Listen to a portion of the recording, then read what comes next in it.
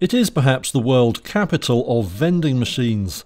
Now, Japan's many automated vendors have a new product to offer virus testing kits. A clinic has so far set up seven of the machines in the Tokyo area. They sell kits for about $40. This student stumbled on one outside a noodle shop. I was surprised to find one at a restaurant, not a drugstore, she says. The machines may meet a need. Japan's government has been conducting just 40,000 of the so-called PCR tests each day. That is a quarter of capacity, with the tests restricted to those who are most symptomatic or at high risk. The general public has been left heavily reliant on private clinics or buying PCR tests by other means. Hideaki Takemura is director of the Laketown Takenoko Clinic which set up the machines.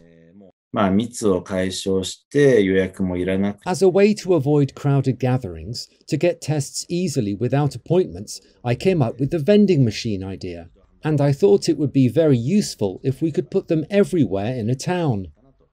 Takemura says there was huge demand at first, with some machines needing to be emptied of money twice a day.